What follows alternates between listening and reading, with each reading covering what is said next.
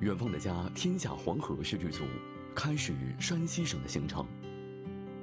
作为中华民族的母亲河，黄河在山西省境内先后流经忻州、吕梁、临汾和运城等地市，河段全长九百六十五公里，造就了壮观的黄河盛景，也孕育了浓郁的黄河风情。摄制组第一站来到位于山西省西北部的忻州市偏关县。偏关县西临黄河，与内蒙古自治区准噶尔旗隔河相望，北依长城，与内蒙古自治区清水河县接壤，南面与河曲、神池和五寨等县毗邻。独特的地理位置也让偏关县自古就有“三晋平藩，晋北锁岳”之称。摄制组一路驱车来到偏关县最北端的老牛湾，滚滚黄河自西向东拐了一个九十度的大弯，转头向南一路而下，从而在黄土高原上冲出一道深邃的峡谷。这道美丽的峡谷就是晋陕大峡谷。爱美丽中国，看远方的家，远方的家，天下黄河摄制组。现在我们来到的是山西省偏关县。在我身后呢，就是老牛湾，黄河从这里开始便进入到了山西境内，这儿也是晋陕大峡谷的起点。可以看到黄河的两岸峭壁如削，就像刀切了一样，非常的壮观。在我的目光所及之处，还可以看到一座座的烽火台，这儿呢也是黄河与长城相交汇的地方。宽阔而平静的黄河水，幽深的大峡谷，以及古老的长城，在这里交相辉映。我们接下来就从这里走进偏关，一起去感受一下黄河的壮美风光。奔流不息的黄河水在老牛湾呈现出一幅大河奔流的壮美景观，这里也是黄河与长城交汇的地方。摄制组在拍摄《长城内外》系列节目时就曾到访过这里。时隔多年，如今的老牛湾有了很多新的变化。我们联系到当年的节目嘉宾何娇。请他带我们再次重访老牛湾。我们知道何老师已经是我们节目的老朋友了，多年前在拍《长城内外》的时候，已经给我们讲解过这个老牛湾，是不是？对对。这么多年过去了，您觉得这边的风光变化的大不大？呃呃，可以这样说，呃，我看到了老牛湾的一个发展变化，老牛湾见证了我的一个成长。当时的老牛湾跟现在最大的一个区别，在我看来就是，呃，水更绿了，然后山上的植被。也更加茂盛了。老牛湾是黄河入境的第一个村子嘛，它是第一个张开双臂迎接母亲河的地方。呃，对于整个黄河流域来说，我们的作用，我们的位置也是至关重要的。当年何娇是老牛湾村里名大学生村官，如今他已经调到偏关县文旅局工作。这些年来，他一直关注着老牛湾的发展。听他讲，由于地处黄土高原。偏关县自古就是沟壑纵横、风沙肆虐，自然条件十分恶劣。但偏关人通过几十年的植树造林，逐渐让黄土高坡披上绿衣，在苍茫大地上书写下一个沧海桑田的绿色传奇。在过去的偏关呀，因为经历过战争，经历过其他因素，经历过气候的变迁，这个地方曾经被一个外国的一个学者说。这是不适合人类生存的地方，穷山恶水，植被覆盖覆盖非常差。嗯，但是现在的话，再来偏关一看，我们看到的是绿水青山。在黄河沿岸生态环境得以改善之后，当地村民还依托黄河与长城，努力发展观光农业和乡村旅游产业。二零二一年，老牛湾村入选了山西省美丽休闲乡村以及第三批全国乡村旅游重点村的行列。乡村旅游产业的发展，也给老牛湾村民的生活带来了巨大改变。老牛湾进入了一个双公园时代，就是一是黄河文化公园，第二是长城国家文化公园，双双落户了我们老牛湾。这也是老牛湾迎来了一个千载难逢的一个机遇。我们通过对黄河文化的一个梳理、发掘、保护、展成，然后让这个国家公园的基础设施越来越完善。然后让黄河更清，村民更富裕。天下黄河九十九道弯，最美不过老牛湾。在何娇看来，眼前的秀美风光承载了偏关人的无数辛劳汗水。离开观景台，我们走进老牛湾古村落。这里村舍大多就地取材，用石头建造而成。由于村庄已开发为风景区，村民大多搬到新村居住，也让这座古朴的村落显得格外宁静。这就是走进一个院落，我们见到了在此生活多年的环境设计师李自强。深爱老牛湾十多年，哦，然后资深的生态景观设计师。哇，那您其实不是本地人，那来这儿十多年的时间了。对，为什么当时选择来这边呢？零九年嘛，受这个对岸鄂尔多斯这个准格尔旗政府委托，我做这个大峡谷的旅游规划。哦，我是学环艺设计的，来这儿的时候，我在对岸就勘测地形的时候，我就发现老牛湾这个。可以说是奇观吧。当时呢，它是由于万家寨水利枢纽工程，这个古村落的移民呢都上了前面了，新村了。嗯。这儿就荒废了这么一个原汁原味的这么一个自然景观。嗯。我有兴趣就过来，过来以后呢，自己呢就盘了这么一块地方。这个地方呢，我当时来这儿定了个位，就写了个对联嘛，是吧？长城无墨千年画，黄河有韵万古情。黄河和长城。对呀，一个是千年，一个是万年。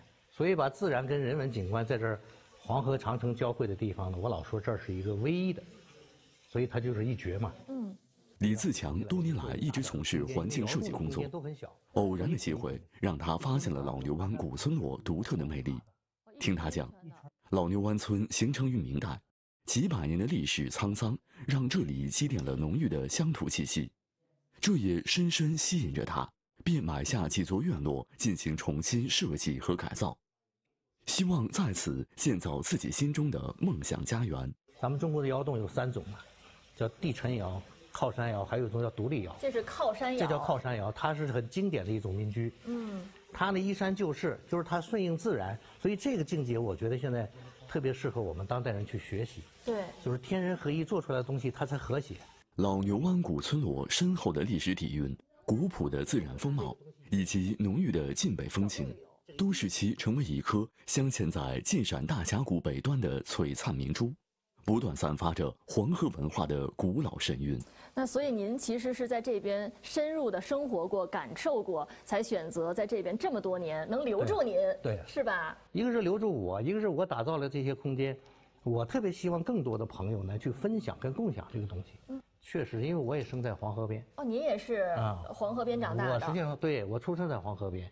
所以我对这一片这个这个黄土地呢，我确实是有深厚的情怀。对，怀着对黄河的依恋之情，李自强在老牛湾停下脚步，也过着世外桃源般怡然自得的生活。我们跟着他走出院落，迎面就看到雄浑壮阔的晋陕大峡谷。你看它这种起伏，这大自然冲刷的这种痕迹啊，嗯，就是说为什么美术学院的愿意来这儿搞写生呢？就是他这个地里画油画。